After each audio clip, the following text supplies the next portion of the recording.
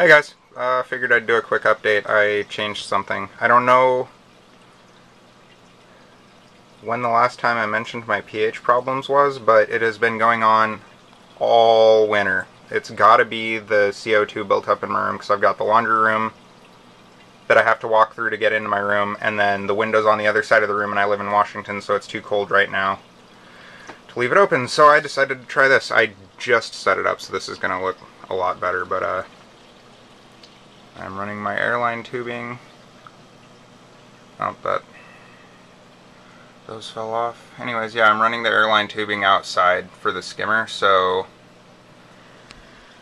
hopefully that'll bring my pH back up because I cannot get anything to work. I mean, I've I've even been using the um the pH plus, and it's it's helping a little bit, but I still can't get my pH to go above like 8. It's usually sitting between 7.8 and 8, and I cannot get it to break it, so...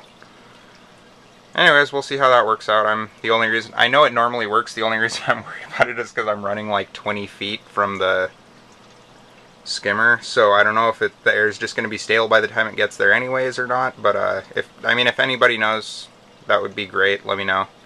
Much appreciated. Anyways, have a good one, guys.